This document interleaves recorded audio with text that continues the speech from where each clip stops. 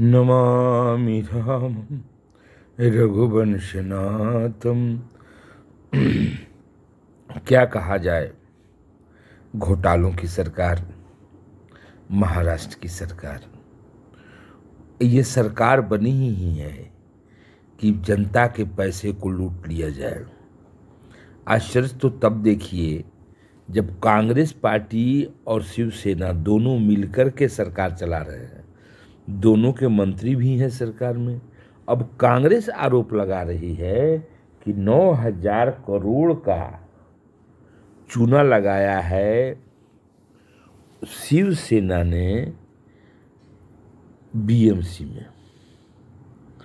BMC में वो बृहद नगर पालिका जो है, नगर निगम, बॉम्बे जिसका कि बजट बहुत सरकार के, बहुत प्रांतीय सरकारों से भी ज़्यादा होता है।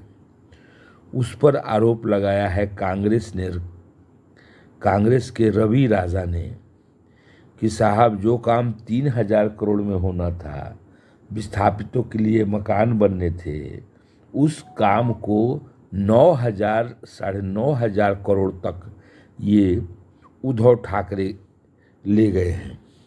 ये बहुत बड़ा करप्शन है और इसके लिए उन्होंने विजिलेंस में सेंट्रल विजिलेंस कमिश्नर को सीबीआई को लिखा है और कहा है कि अगर हमको वहाँ से न्याय नहीं मिलेगा तो हम बॉम्बे हाई कोर्ट में भी इस मुकदमा को डालेंगे। सोचिए, अब तक कांग्रेस, अब तक अगर सीबीआई रेड ऐसे आती थी तो लोग कहता था कि ये प्रधानमंत्री नरेंद्र मोदी का तोता है और ईडी और सीबीआई प्रधानमंत्री दूसरे को डराने के लिए करते हैं। अब क्या आप कहेंगे, जब कांग्रेस के नेता रवि राजा ने ही उद्धव ठाकरे की पार्टी शिवसेना के ऊपर नौ हज़ार करोड़ से बेसी रुपया की लूट की, धांधली की, करप्शन की शिकायत की है। सेंट्रल विजिलेंस कमिश्नर में किया है, सीबीआई में किया है, ईडी में किया है। अब ये कौन क्या करा करा करा रहा है? क्या कांग्रेस के भीतर भी बीजे नरेंद्र मोदी का ही चलता है?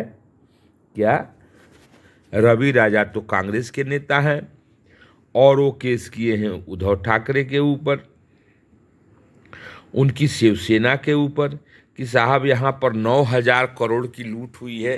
इसको देखिए, जो प्रोजेक्ट बनने थे, उसमें नए मकान, चौदह हज़ार मकान बनने थे। उसकी अनुमानित कीमत तीन हज़ार करोड़ रुपया थी।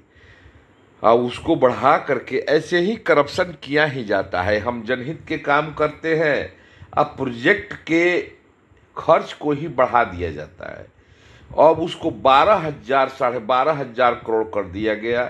तो साढ़े बारह हज़ार करोड़ से तीन हज़ार करोड़ आप निकाल लेंगे तो साढ़े नौ हज़ार करोड़ रुपया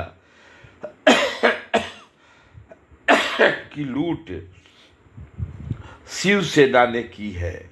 क्या है? एक गृह मंत्री पैसा मांगने के जुल्म में जेल में है, दूसरा दाऊद इब्राहिम से साठगांठ मनी लॉन्ड्रिंग में जेल में है, तीसरा ये कौन जाएगा जेल में?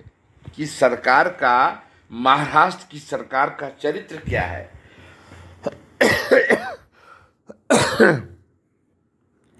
उदय ठाकरे को एक बार पुनः सोचना चाहिए।